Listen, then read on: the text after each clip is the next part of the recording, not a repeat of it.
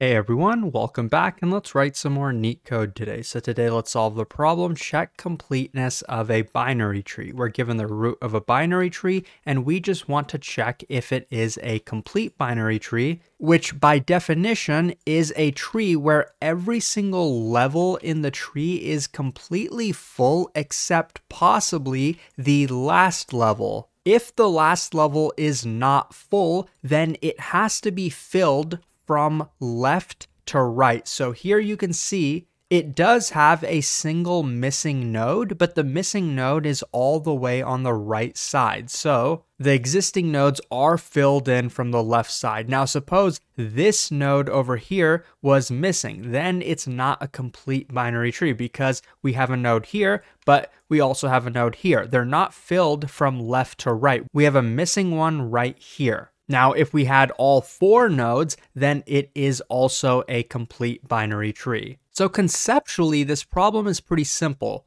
By looking at it, it's pretty easy to tell if we have a complete binary tree or not. And algorithmically, we know there's not a ton of different algorithms we can run on a binary tree. Usually it's DFS, but the less common one is breadth first search. Which one do you think is going to be more useful in this case? Probably breadth first search, which is basically a level order traversal. We're going to traverse it level by level because that's probably what's going to allow us to know if the last level is filled from left to right. So suppose we have the same binary tree over here, well, structurally the same.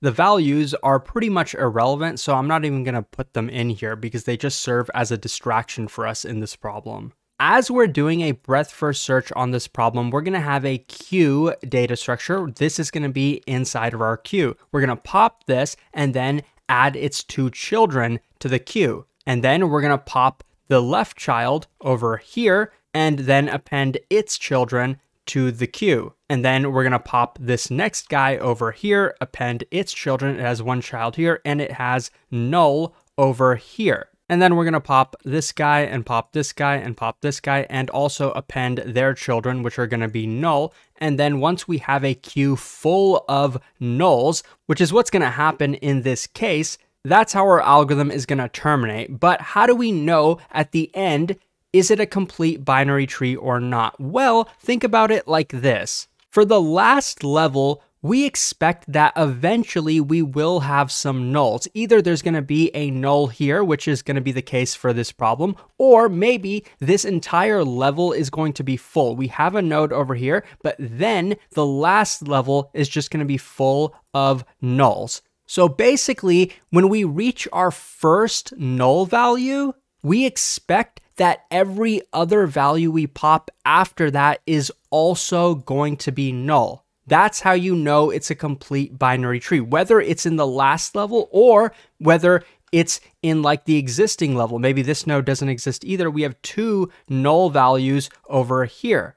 We expect there not to be a situation like this where there's an existing node here, but there's not a node here. We pop this guy, it's non-null. We pop this guy, it's non-null. We pop this, it's a null value. And then after that, we do not expect to see a non-null value over here. If we do, then it's not a complete binary tree. Now there's one last edge case you might be thinking about. What if we have a situation like this where yes, there's a null in this level, but what if this is not the last level? What if over here, this node also has a couple non-null children? Does the algorithm I just described still work for this tree? Let's test it out. Let's say we pop all of these and then we get to this level, we pop this, append its two children, pop this, append its two children, which are null, pop this,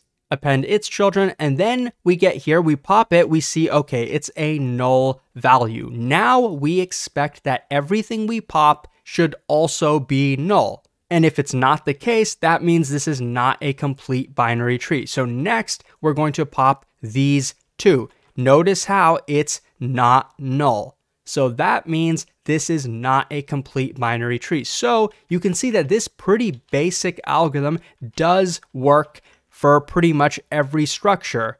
It will tell us whether a tree is a complete binary tree or not. And since we're just doing a pretty basic breadth first search, the overall time complexity is going to be big O of n. That's also going to be the memory complexity in the worst case. So now let's code it up. So as with every breadth first search, you want to start with a queue. We're guaranteed that the root is going to be non-null, but that wouldn't matter the way I'm going to code this up anyway, but I'm going to initialize this queue with the root value. We have to pass in an array to initialize the queue. So next, we're going to run our breadth first search. While the queue is non-empty, we're going to pop from the queue. We pop from the left side because we're going to be pushing to the right side. It's important to do it this way because we want to traverse every level from left to right. So when we pop the node, we want to take the node's children and append them to the queue. So node.left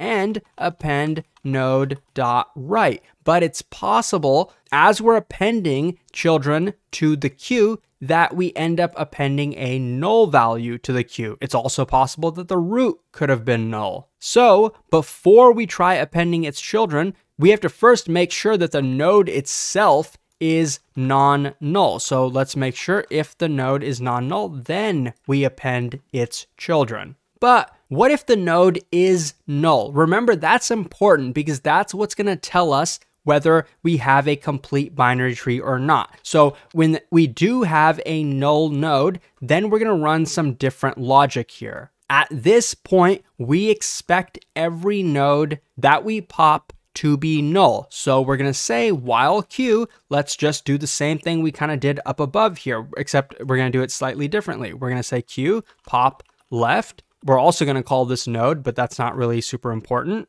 But we want to make sure that this thing that we're popping, and actually we don't even need to assign it to a variable, we're going to check if this node that we just popped is non-null, then we have to return false because we were expecting everything to be null, but now we found a non-null node. That means this is not a complete binary tree, so we return false. Now, if we never execute this, meaning we never execute this false, we're definitely going to execute this while loop. Then our queue is going to be empty. Then we're going to come up here and we're going to exit out of this loop as well. And then out here, we can go ahead and return true because we know we do have a complete binary tree. So now let's run it to make sure that it works. And as you can see, yes, it does. It's pretty efficient, even though the runtimes on LeetCode are random. If this was helpful, please like and subscribe. If you're preparing for coding interviews, check out neetcode.io. It has a ton of free resources to help you prepare. Thanks for watching, and hopefully I'll see you pretty soon.